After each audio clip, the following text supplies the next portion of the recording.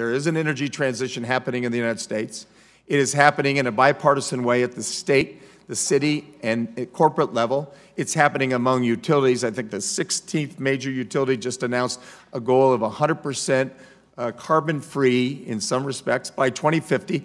And so it's happening, uh, but it's not happening necessarily on public lands where we have 20 some percent of the carbon footprint. So in my mind, HR 5435, first of all, addresses that part of it that it should be public lands that we focus on and the carbon footprint there. But the second part of it is the funding mechanism for coal-dependent communities around America that are badly in need of help as we shut down coal in the West. We have a variety of places that are going to have a very difficult time without some kind of a federal plan for assistance in trying to have the right kind of economic activity to revitalize those, those communities. So HR 5435 addresses the climate problem, but also addresses an economic problem that's a very real problem in places throughout the West, and I support the, the legislation for that reason.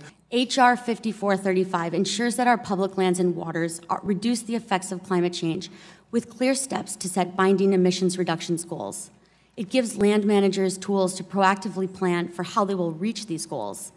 Additionally, I support the bill's provisions to give special funding to fossil fuel dependent regions to be used for reclamation and restoration of land and water, transition assistance, worker retraining, and other purposes. Transitioning to a clean energy economy doesn't just create jobs. It's actually, it actually improves public health. 80% of voters say that a health care is vital to their vote. Did we ever stop to consider what's making us sick in the first place? To meet our climate goals, we need to expand America's clean energy sources. Development of wind and solar on public lands and waters has great potential to create jobs while moving us towards the clean energy future needed to combat climate change. Uh, offshore wind uh, expansion is a demonstrable and very current example of this potential. Finally, cleaning up abandoned mines and orphaned oil and gas wells can put people to work remediating a host of environmental and public health problems and also free up that land for new economic development opportunities. These kind of strategic investments in natural infrastructure, in clean energy development, and in reclamation can ensure our public lands help us achieve our climate goals. And they must go hand in hand with measures to ensure these jobs are quality jobs. Although the idea is an old one, tree planting has gained prominence recently following a 2019 study and subsequent press campaign claiming that trees may sequester up to 205 gigatons of carbon, offsetting a whopping two-thirds of total historical global, uh, anthropogenic carbon emissions.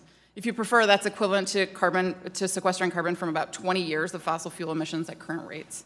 Unfortunately, like most things that seem too good to be true, it is. These estimates are wrong and have been widely and swiftly disputed by the scientific community.